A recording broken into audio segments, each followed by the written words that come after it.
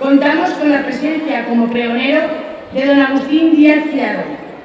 capitán jefe de la compañía de la Guardia Civil en Caspe, en representación de un cuerpo que hace ya más de 100 años vela con profesionalidad por los mismos intereses de convivencia pacífica que demostró Caspe en aquel lejano 1412. Aquel recuerdo al que llegaron los nueve hombres de conciencia proba, buena fama e idóneos logrando evitar el conflicto en la sucesión de la Corona de Aragón, hoy se refleja en la colaboración colectiva de toda la sociedad civil caspolina, para conseguir que las fiestas del compromiso sean un referente a nivel autonómico.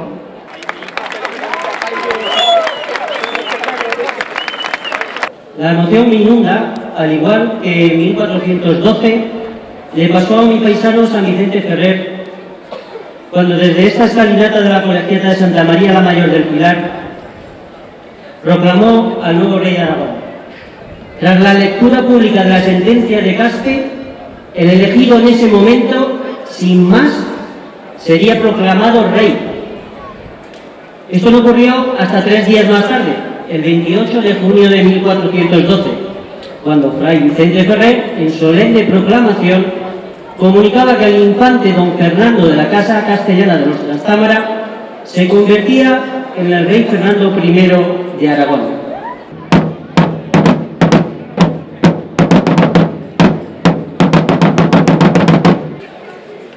Después de tomar nombramiento de capitanes y justicia y avalada pues la posesión de la villa, procederemos a encerrarnos en el castillo para que con plena y plenísima, general y generalísima autoridad,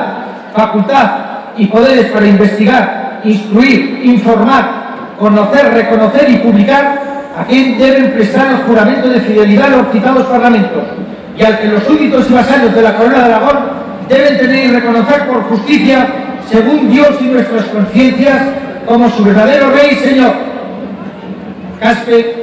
a 23 de abril del año del Señor de 1412. Soy el San Juanuco de Caspe, el que más alegría reparte. El sol y el verano me llaman, el ala y la luna